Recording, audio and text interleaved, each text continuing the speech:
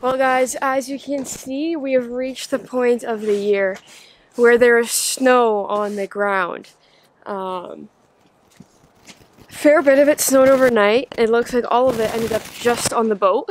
Yeah, this may be our last trip out of the season here. So uh, we're going to get all snow off the cover, get the boat ready, head out on the lake, and hopefully uh, crack a couple of good, good bass to end off our uh, open water boat slash bass season this year. So let's get to it. And just like that, the boat is coated in snow, which sucks, but hopefully the snow kind of goes away a little bit. Look at that. Welcome to winter.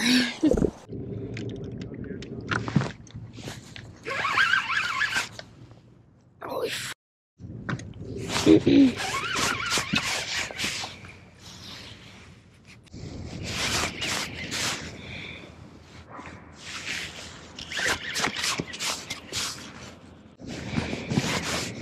to jump, he couldn't.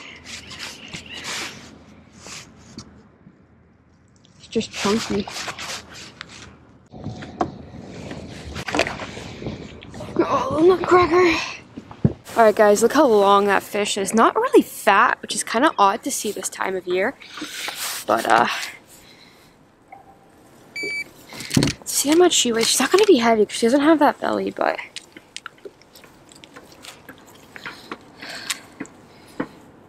Yeah, no. Low fours.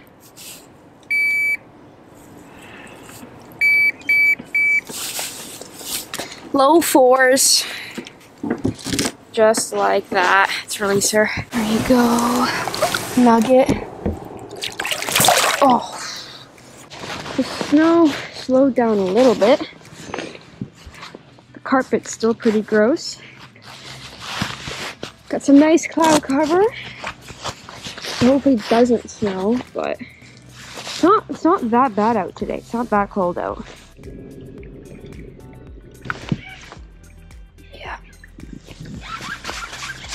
Cracked it. He's pulling drag, eh? Yeah. Yeah, no, he's pulling drag. Yeah, that cracked it.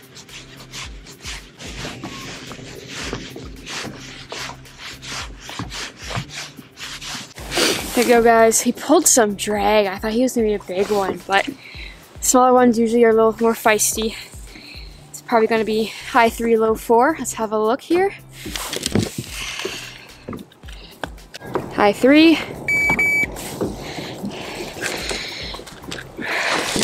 Right there. Just absolute chooch. Let's release some guys. Should be good to go right back down. You can see his white belly when he swims down. It's so plump. oh, no way. Back to back. oh.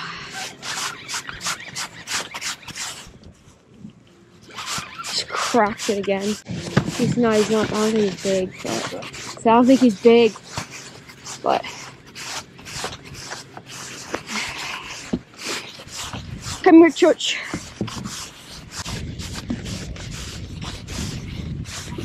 Come here, Church. Ah, him off. No more Church. I missed it. I wasn't recording. I just set the hook into a fish and it went.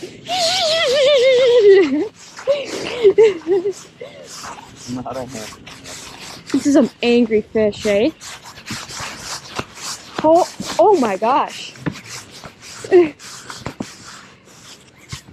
He's so mad.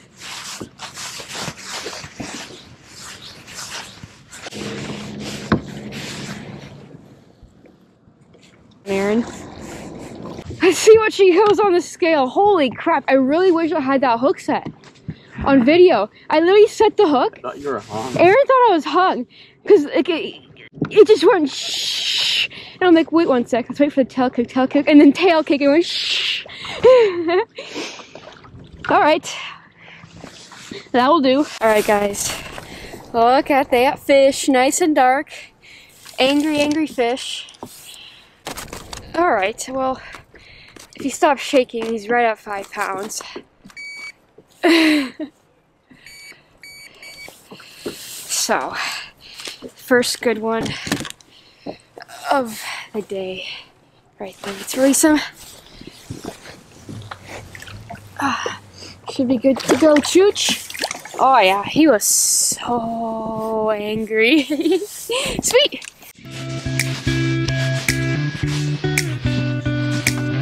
We found where the nuggets winner. there you go. Nice. Okay. Yeah.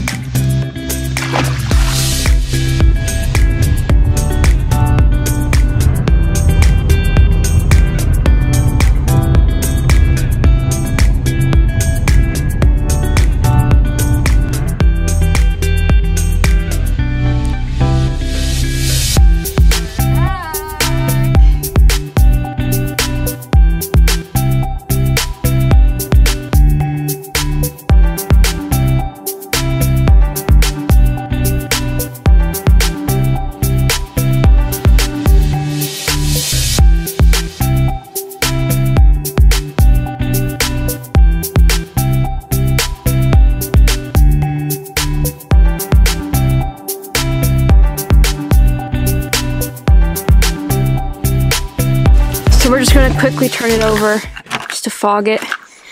Ready?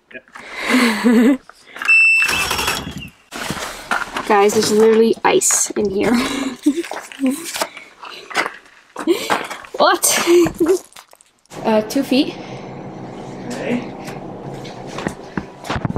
I still need the foot to walk over there. Yeah, so just push it straight back. Got her in.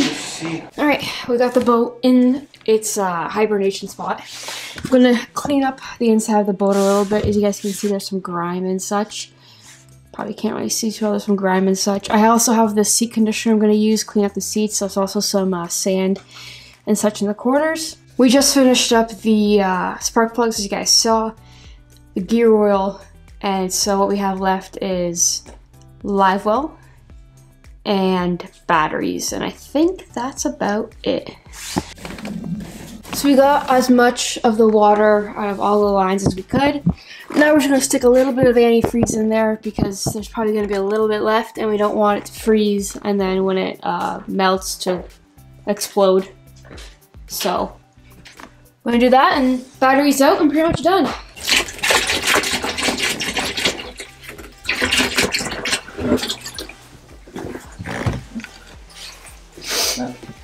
now it should be fine. Okay. Bit's fine, I think. Just gonna do some quick cleaning up with all my stuff. I'm not gonna be using it until uh, I don't remember when Pike opens, like May. so I'm gonna take all the baits off.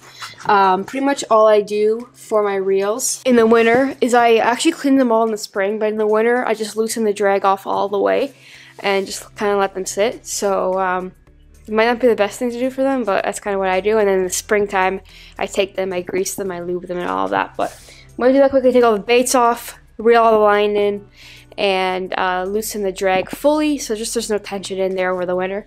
And I'm gonna do that. I'm gonna clean up my baits a little bit.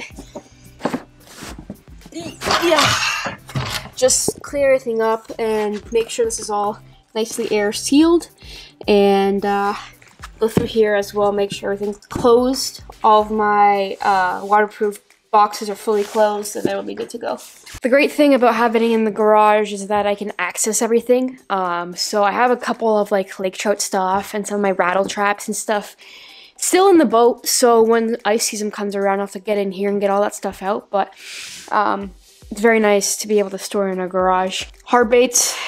Put all my Bass Mafias over there, and all the rods and reels in here. We'll see. Uh, I might take the reels off, um, leave the rods, but take the reels off and bring them inside where it's not so cold. Um, but it's not quite winter yet, so I have a little bit of time to decide what I'm going to do with that. So yeah, bounce sheets, uh, batteries out, and we're out. Ooh, so this is the uh, second time in two weeks that my mic has actually crapped out on me, so I'm gonna get that checked out. But uh, this is just my outro here. I was just pretty much talking about how great of a year I've had with this boat. Picked it up in the spring. My uh, the my very first uh, fiberglass boat that I have ever owned, and I cannot be more happy with it.